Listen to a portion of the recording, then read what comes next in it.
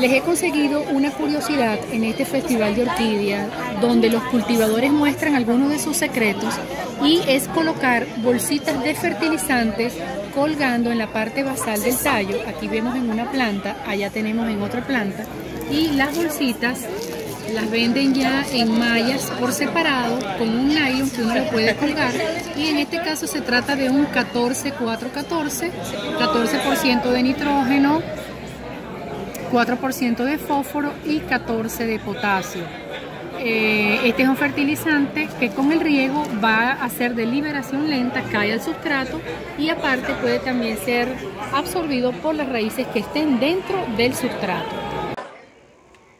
El fertilizante o abono granulado está equilibrado con nitrógeno, fósforo y potasio, recubiertos de una resina porosa y que contiene todos los macroelementos y microelementos necesarios para el crecimiento de tu orquídea. Los gránulos miden entre 3 y 5 milímetros. Una vez que se aplica el riego, aumenta la presión interna de cada gránulo de fertilizante y esta presión hace que se libere el abono de una forma constante dependiendo de la temperatura.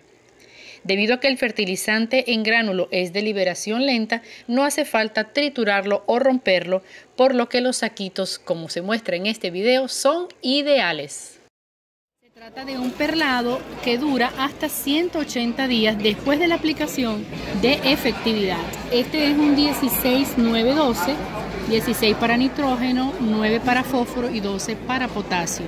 Se aplica cuando la orquídea está dentro de la casa cada 6 meses, una cucharada por cada 4 pulgadas de diámetro de pote cada 6 meses.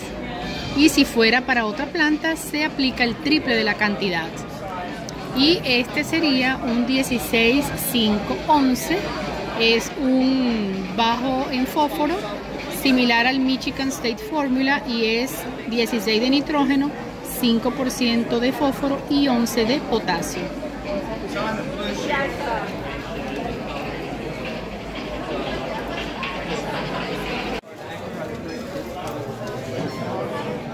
les tengo más información sobre colocar el fertilizante en la base de la planta. Cuando se procede a regar, se humedece la bolsita y ese fertilizante va a ir cayendo hacia las raíces donde va a ser absorbido.